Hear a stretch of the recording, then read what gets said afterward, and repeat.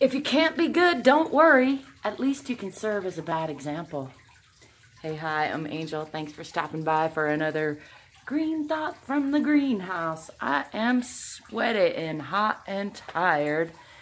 And some things I feel like I'm doing right, and some things I feel like I'm doing wrong. And that's just the point. Is like if I'm feeling I'm doing wrong, there's no sense in feeling bad about it. It's just to note, oh, I would like to do that better, do that differently. And likewise, if I see someone doing something that I go like, oh, I don't like that, instead of being critical of that person, I just note to myself, like, you know, that's not how I want to be. Um, I want to be more like this.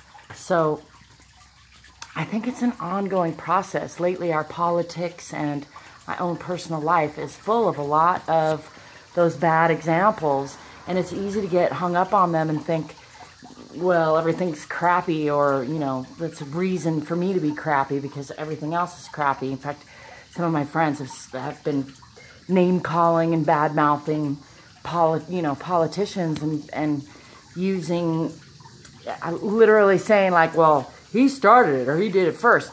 And that's such an immature outlook and much better much more productive to go like, hey, actually, I notice I don't like that. And so I'm going to make sure I'm not acting like that. For me personally, I have a friend who's doesn't communicate very well, isn't very nice some of the time, and it's easy for me to want to take that personally and think that somehow that reflects on the kind of person I am. But when I really am viewing it from a broader perspective, it's easy to see that that's just clarification of like, I want to be the kind of person who's nice to people. I want to be the kind of person who responds, who does my best to reciprocate, to give and take in a relationship. So I'm grateful for those examples that aren't great. And I've been that example plenty of times. I'm sure I still will be again, and that's okay too.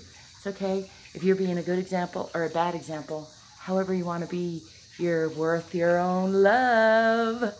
You're here, so you must be worthy, right? That's my green thought from the greenhouse. Let me know what you think of all of that. As always, you can find other ways to connect to me and support me in the description below. Until next time, I wish you peace, prosperity, good and bad examples, love, laughter, lightheartedness, and don't forget to play every day.